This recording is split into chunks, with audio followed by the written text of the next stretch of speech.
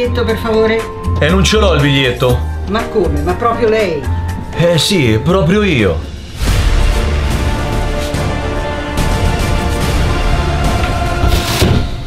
Fai la doppia la multa! C'è anche il sindaco di Ancona, Valeria Mancinelli, in uno dei nuovi spot realizzati da Conerobus per la lotta ai furbetti del biglietto, nelle vesti di addetta al controllo, pronta a sanzionare chi, nonostante le tante diverse possibilità, pensa ancora di poter viaggiare senza pagare. Conerobus, la società per la mobilità intercomunale nata dalla fusione di due aziende di trasporto della città di Ancona, ha presentato alla stampa il nuovo piano tariffario degli abbonamenti, ma anche una serie di iniziative per fronteggiare l'evasione, potenziando le misure di contrasto e avviando un percorso di educazione e sensibilizzazione che coinvolgerà la popolazione e gli studenti in particolare.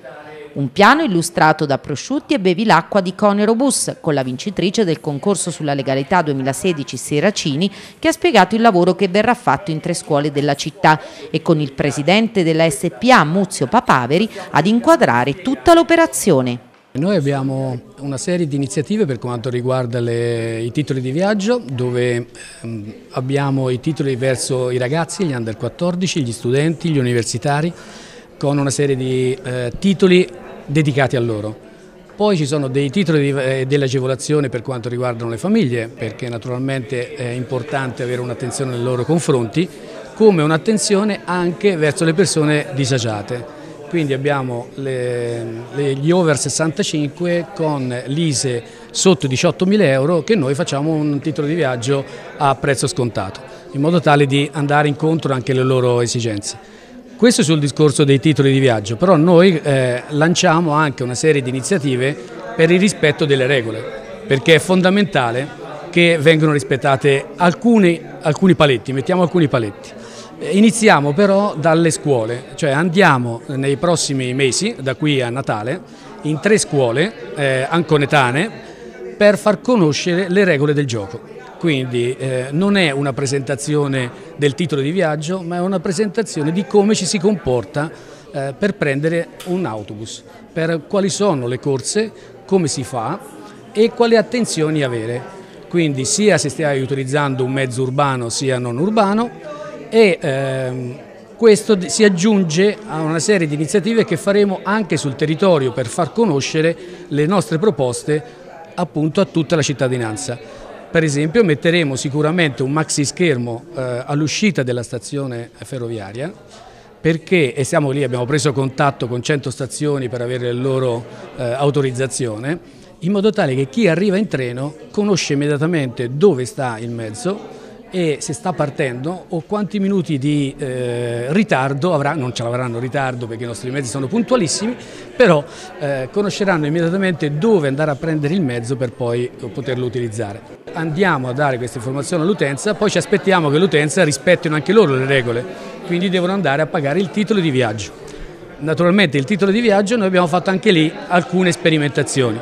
Sull'urbano, eh, sulla linea 92, si potrà salire esclusivamente davanti, mentre contrariamente a quello che è oggi, perché oggi si può salire anche da in fondo, non più, perché in fondo si esce.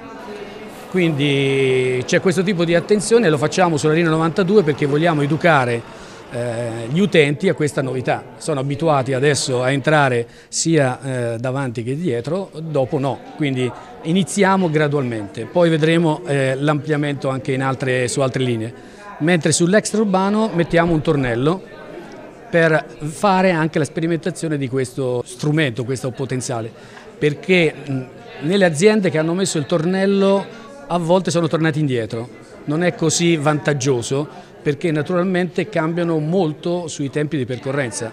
Quando ci sono 50 ragazzi che vogliono salire, che è finita la scuola, eh, tutti in fila, eh, uno alla volta, diciamo così che i tempi si cambiano paurosamente, quindi non è così semplice e immediato. Allora bisogna sperimentare, vedere quali sono i problemi per poi adottare le soluzioni migliori.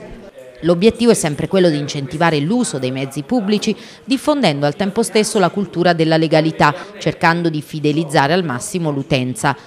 Con il progetto C alla terza, Conerobus intende lavorare su tre fronti, quello della cultura, della comunicazione e del controllo.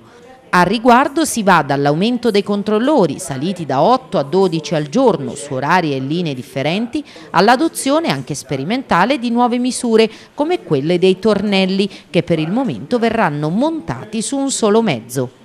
13.000 circa le sanzioni elevate ogni anno, anche se, come a livello nazionale, pure ad Ancona se ne riscuote solo una su tre. Ecco perché, è stato detto all'unisono, bisogna arrivare ad una cultura della legalità che eviti il più possibile di fare le multe che vada invece ad innalzare quella soglia di coscienza civica che garantisce benessere e qualità dei servizi a tutti. Per il comune di Ancona presente l'assessore competente Ida Simonella. Diciamo che sul trasporto pubblico noi come città crediamo moltissimo. Faccio solo presente questo, che statisticamente, quindi dalle statistiche ufficiali, noi siamo tra le prime dieci città italiane, di media dimensione naturalmente non paragonabili alle città metropolitane, per l'utilizzo del mezzo pubblico. Quindi la domanda di trasporto è estremamente elevata. Chiaro che come in tutte le città esiste un problema di portoghesi, di coloro che non pagano e abbiamo deciso di mettere in campo iniziative diverse perché, eh, diciamo così, perché la situazione si riduca, gli effetti si riducano, non solo il controllo sui mezzi ma anche delle campagne informative e delle campagne anche di politiche commerciali che, che incentivino anche l'acquisto dei mezzi da parte di fasce di popolazione più debole. Noi come comune che ricordo siamo i titolari in realtà delle tariffe, cioè non le stabilisce Conerobus, le stabilisce un comune, abbiamo proprio deciso questo, di non fare eh, politiche di aumenti o di riduzioni indifferenziate, ma cercare di lavorare sul sociale, fasce deboli, ma anche famiglie, ma anche e soprattutto ragazzi.